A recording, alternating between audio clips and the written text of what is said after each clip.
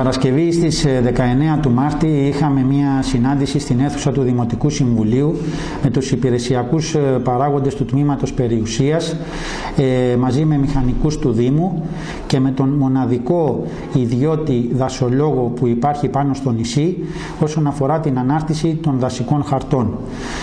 Ήθελα λοιπόν να ενημερώσω τους ε, δημότες ότι έχει εξασφαλιστεί μια πίστοση έτσι ώστε να μπορέσουμε να προσλάβουμε τον συγκεκριμένο δασολόγο για να μας βοηθήσει λίγο στην κατάθεση των ενστάσεων όσον αφορά τους δασικούς χάρτες. Με πολύ απλά λόγια ήθελα να πω ότι η περιουσία του Δήμου είναι εκτιματογραφημένη και ε, αποτυπωμένη πάνω σε ένα πρόγραμμα υπολογιστή.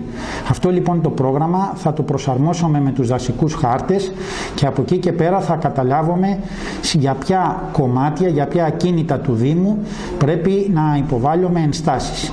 Αν θυμάστε και ο κύριος Μπέλαση είχε πει χαρακτηριστικά ότι σε ορισμένα κομμάτια δεν επιδέχονται ενστάσεις.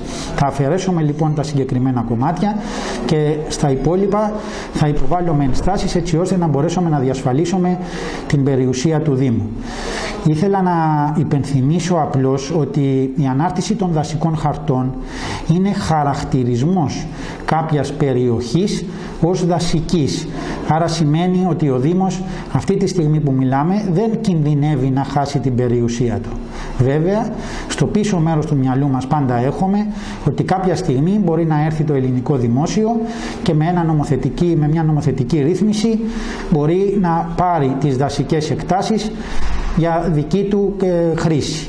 Αυτό προσπαθούμε και επιδιώκουμε αυτή τη στιγμή να εξασφαλίσουμε αυτή η περιουσία του Δήμου να παραμείνει σε εμάς. Κύριε Παλαιtina, που μιλάμε για την περιουσία του Δήμου, έχει ολοκληρωθεί και η καταγραφή.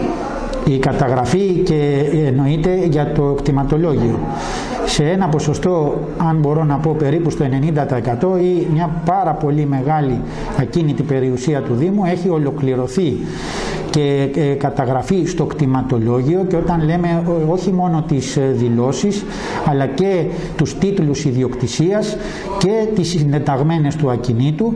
Υπάρχει ακόμα ε, κάποια μικρά κομμάτια από πρώην δημοτικές κοινότητες οι οποίες σε συνεργασία με το τμήμα περιουσίας πιστεύω σε πολύ σύντομο χρονικό διάστημα θα έχουμε ολοκληρώσει κατά 100% την καταγραφή.